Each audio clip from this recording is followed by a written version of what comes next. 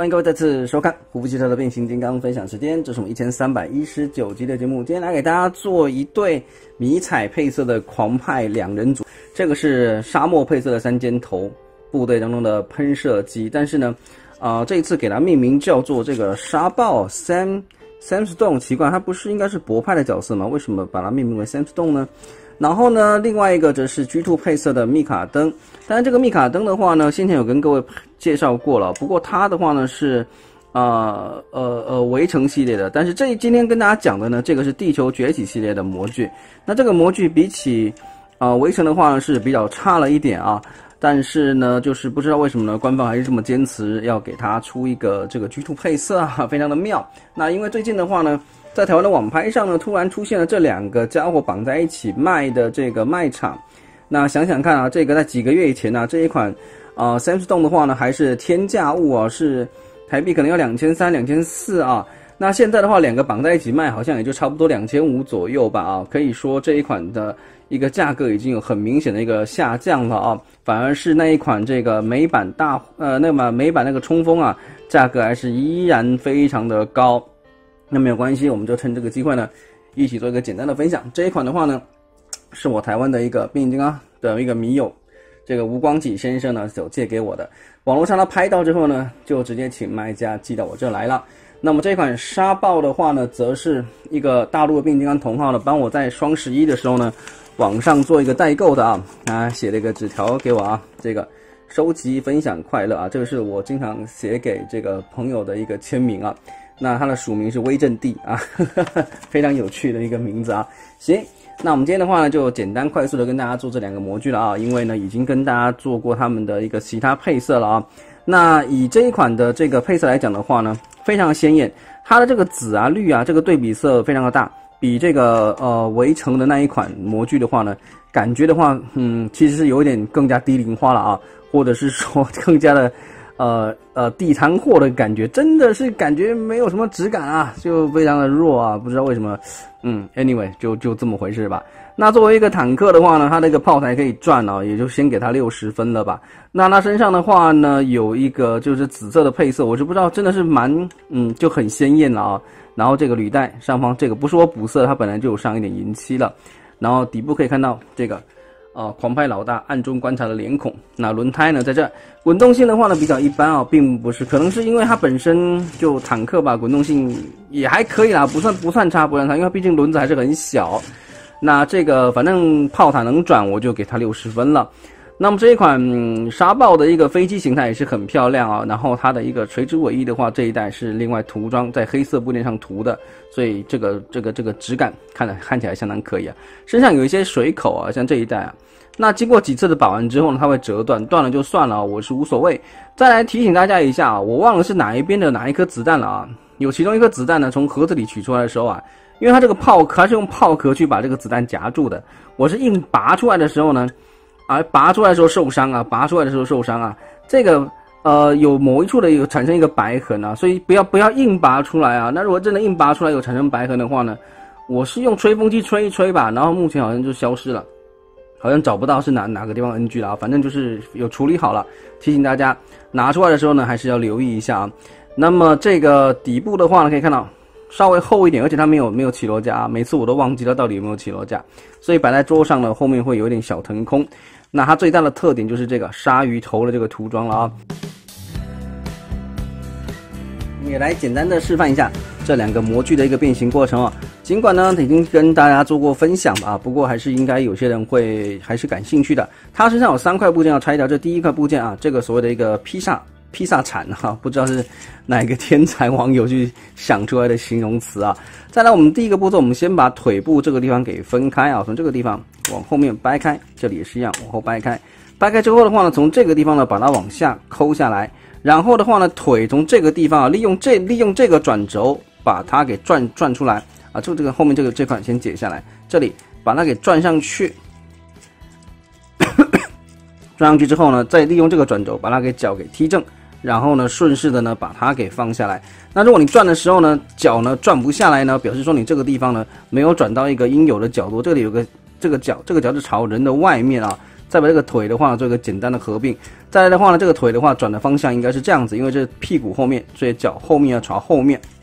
这里的变形也是一样的，这个地方翻出来，然后呢顺势的把这个地方给转出来，这个地方踢出去，再把这个脚顺势放下来，这里推上啊。显然我刚刚这个地方转的角度是不对的，不过无所谓啊，它能翻转就 OK 了啊。然后这个脚后跟呢这一带呢是没有打铆钉的，所以有时候翻出来的时候呢会喷溅的。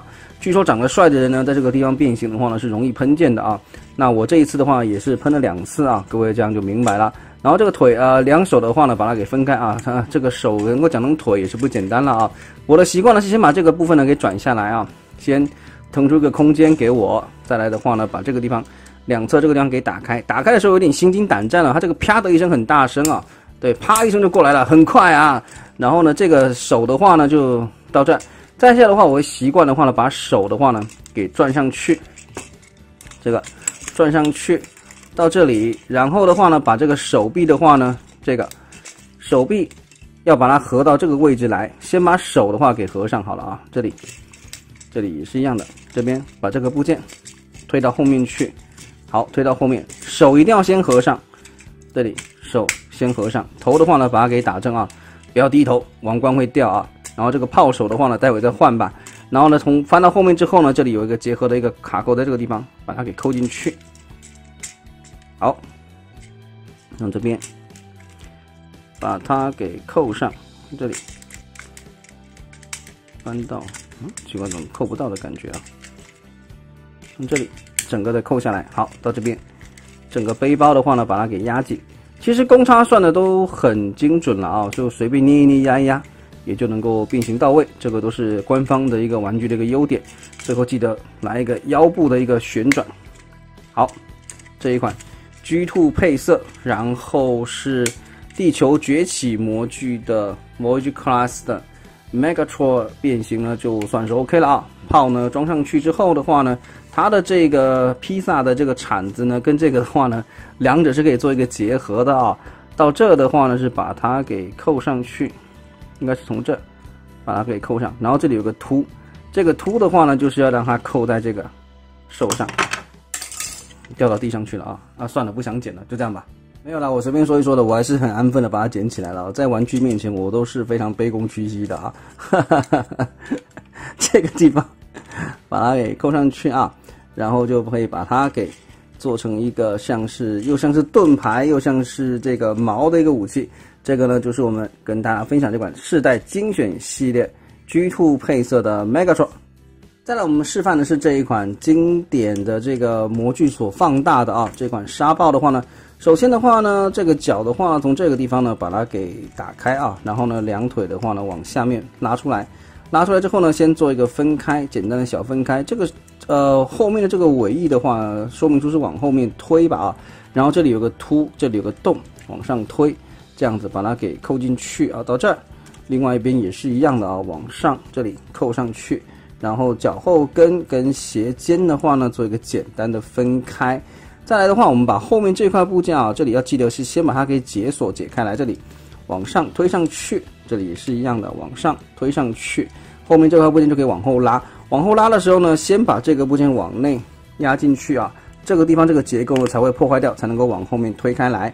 那你可以看到这个地方啊，有一些水口啊什么的，这个本来都有的啊，我故意把它玩断。这个地方不断的话呢，它这个可能还翻不出来。那我们就把这个手臂的话呢，先翻到这里。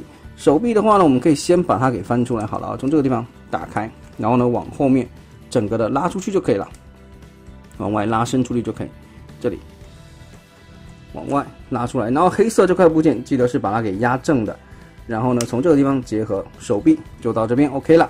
另外一侧的变形呢也是一样的啊，从这个地方翻出来，然后呢由下戳住这里，往外面拉出来，黑色部件往内压进去，然后这个部件往上面压，手放下来伸直了啊。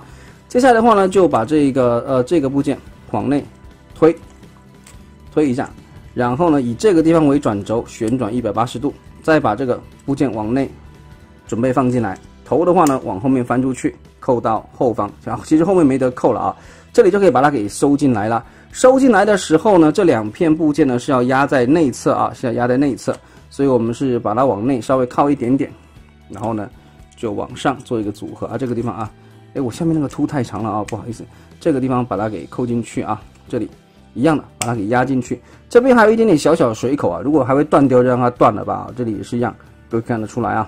这一款虽然它的水口有点多，但是其实这一款的这个呃这个什么公差啊，还有这个关节的紧实度来讲，我觉得是做的还是相当可以的啊，相当可以的。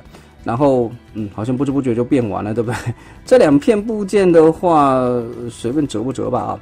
还是把它折下来好了，可能会比较干净利落一点点。在这边把它给压进来好了。嗯，最后的话呢，就是把它的一个两把，这个按照说明书的说法，他们都是把它当成枪来使啊，就不是放在肩上。那我们就按照这样放吧，也无所谓了啊，反正就也是按照它的一个说法去放的。那么呢，这款 Sam Stone 的一个变形呢，就算是大功告成了啊。那两个模具呢，你看了啊？这个刚好跟各位稍微简单提过啊，这个模具都是已经讲解过了，而且没想到说变起来之后啊，这个 Megatron 居然这么胖一个，不不能讲胖，应该说它很壮。你看到这个胸腰腿，包括头啊，就整个比例来讲的话，就是很壮的一个家伙。啊。不过我喜欢啊，因为毕竟是老大嘛，那个大一点、壮一点是应该的。那么呢，两者哪一个哪一个好看的话，这个都是迷彩配色啊，也没有什么特别不好看不好看。但是这个标志的话，因为这个是 G Two 的一个标志了啊，可能有点搭不太起来。那两者会一起做，只是说刚好就是最近啊有一起绑在网络上卖的一个一个一个一个现象，还有都是迷彩配色。其实这两者应该并没有特别特别的一个什么关系了啊，可能两个脸都黑的吧，都比较偏黑一点点。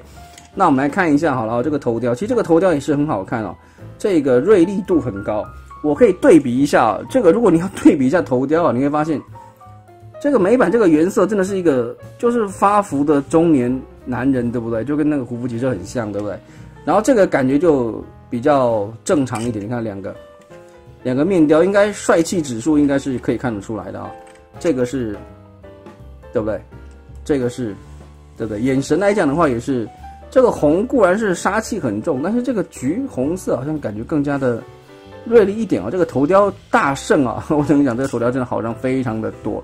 然后这款沙豹的话呢，就是它有一个特点呢，你会发现，在人形的正面你看不到迷彩的配色，在飞机的时候呢，则是很多的迷彩配色，这个也是它的一个呃小小的一个配色上的一个亮点吧啊。